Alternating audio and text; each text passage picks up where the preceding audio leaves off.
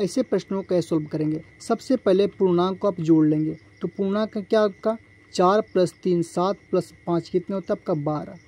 और प्लस करने हैं। उसके बाद जो भी बटे में बचा है, क्या बचा आपका? पाँच बटे में दो प्लस का, चार बटे में तीन प्लस का, तीन बटे में दो। बस सबको सिंपल लिखने हैं। अब क्या करने हैं आपको? हर सेम करने हैं। यहाँ पे दो है, यहाँ पे तीन है, यहाँ पे दो है।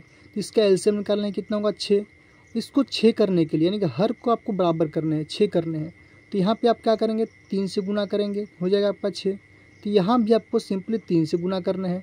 यहाँ पे करने होंगे दो से गुना तो यहाँ भी करेंगे क्या? दो से गुना यहाँ पे करेंगे तीन से गुना तो ऊपर भी करेंगे तीन से गुना आंसर हर में सेम संख्या से गुना करेंगे। तो क्या होगा आपका? बारह प्लस का। पाँच तिया पंद्रह बटे में हो जाएगा छः प्लस में चार दूनी आठ बटे में छः प्लस का तीन तिया नौ बटे में छः अब क्या है इसका भी ट्रिक है? ट्रिक क्या है? आपका हर सेम है तो जोड़ देंगे।